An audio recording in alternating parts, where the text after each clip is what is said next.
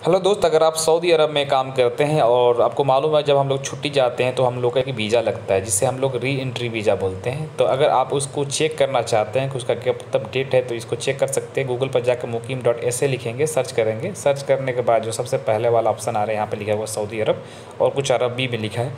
इस पर जैसे आप क्लिक करेंगे तो मुकीम मुकीम का जो ऑफिशियल वेबसाइट है, आप यहाँ से ओपन कर सकते हैं, आप लोग देख सकते हैं यहाँ से ऑफिशियल वेबसाइट ओपन हो चुका है, आप यहाँ से अपना वीज़ा का वैलिडिटी चेक कर सकते हैं। यहाँ पे सबसे पहले आपने इकामा नंबर डाल के ओपन कर सकते हैं, अगर इकामा नंबर याद नहीं है तो आप अपना वीज़ा नंबर जिसे यहाँ पे टाइप करेंगे तो देख सकते हैं मैं वीज़ा नंबर यहाँ से टाइप कर रहा हूँ। आप लोग देख सकते हैं वीज़ा नंबर वीजे के पे होता है, ये देख सकते हैं दोस्त, ये वीज़ा नंबर है, ये आप यहाँ पे टाइप कर देंगे। जैसे आप यहाँ पर वीज़ा नंबर टाइप कर देंगे मैचिंग विथ एनी कोई भी डॉक्यूमेंट्स आपसे, जो वीज़ा नंबर हो सक, जैसे कि पासपोर्ट नंबर हो सकता है डेट ऑफ़ बर्थ हो सकता है, आपका नाम हो सकता है, कुछ भी यहाँ से डाल सकते हैं दूसरा ऑप्शन में, जैसे मैं पासपोर्ट नंबर यहाँ से डालूँगा। दोस्तों यहाँ पर पासपोर्ट नंबर डाल देना। एक मैं बात बता देता हूँ आपको दोस्त, कि अगर जैसे आप लोग इस पर डेट एक शो करता है, कि इससे पहले पहले आपको एंट्री कर जाना है समटाइम्स क्या होता है कि वो आदमी किसी वजह से वो आदमी नहीं वापस आ पाता है। तो अगर हिकामा में, अगर आपके पास हिकामा में टाइम है तो आप लोग आसानी से फिर अपने कंपनी से रिक्वेस्ट करके डेट आगे बढ़ा सकते हैं।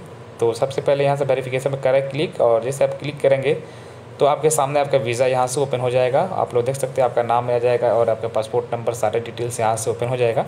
और ओपन होने के बाद आपका यहाँ पे डेट दिखाई देगा। यहाँ पे बोलेगा बैक बिफोर यहाँ पे देख सकते हैं बैक बिफोर यहाँ लिखा हुआ है इसका मतलब तीस नवंबर तीस सितंबर 2021 तक आप आ सकते हैं। तीस सितंबर से ज़्यादा अगर हुआ तो फिर आपका ये वीज़ा एक्सपायर हो जाएगा। एक्सपायर होने के बाद आप वापस नहीं आ पाएँगे।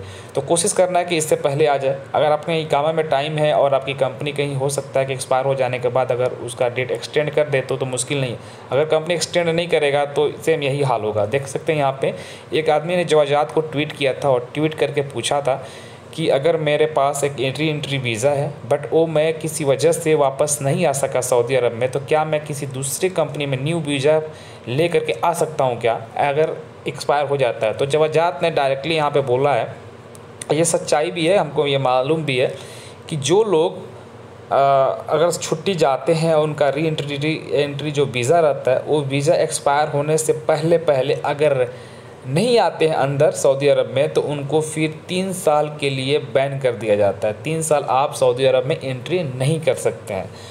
तो दोस्तों, अगर आपका भी इकामा है और अगर इकामा में टाइम है तो अगर कंपनी ने आपका डेट आगे एक्सटेंड कर दिया तो सही है। अगर डेट डेट जो है कंपनी ने एक्सटेंड नहीं करता है तो फिर आप तीन साल तक सऊदी अरब में नहीं आ पाएँगे। तो कोशिश कीजिए, अपना जॉब रहेगा तो बहुत होगा। तो उम्मीद करते हैं आपको वीडियो अच्छा लगा होगा। वीडियो अच्छा लगा तो प्लीज़ लाइक एंड सब्सक्राइब करना ना भूलना। Thank you